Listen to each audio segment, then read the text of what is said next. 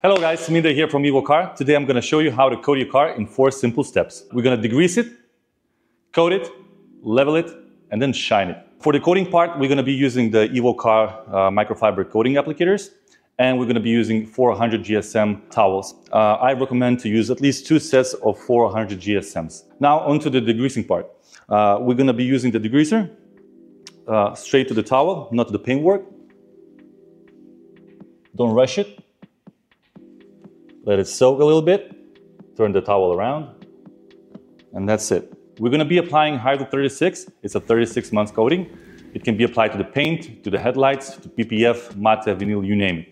I'm gonna show you how to apply it and how to actually solve the problems if you're gonna face any of them. So the first time you're applying uh, your coating to your applicator, you wanna apply a little bit more because it's a new applicator and we're gonna absorb a lot of the coating. Always close your coating. Then after applying the coating to the applicator, you want to do a butterfly, just to spread the coating evenly everywhere. We're going to take a small portion. I always recommend to start slowly. Once you get enough confidence, you can start applying to a larger section. So apply it in straight lines. The most important part of the Hydro 36 is to do not crisscross coating. Just put the applicator away, take your first towel, and gently level it up.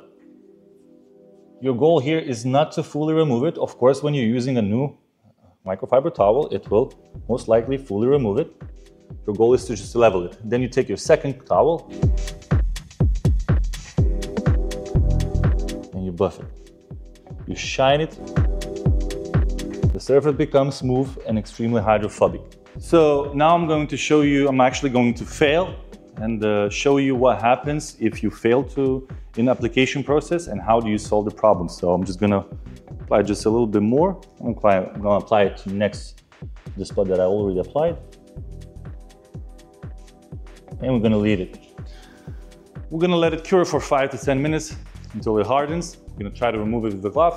Of course, it's not gonna be, we're not gonna be able to do it. We're gonna, you're gonna start to see some swelling coming out of the paintwork. And uh, this tells you that the coating has already hardened. So the only way to remove Hydro or Boost Plus is by using the fine cut.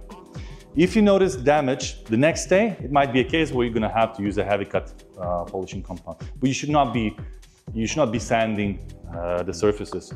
Heavy cut is just enough. Now, what you also need to know about Hydro 36 it is that it is really fast curing coating. So once you finished applying your coating, you can give the car away back to the customer within one to three hours.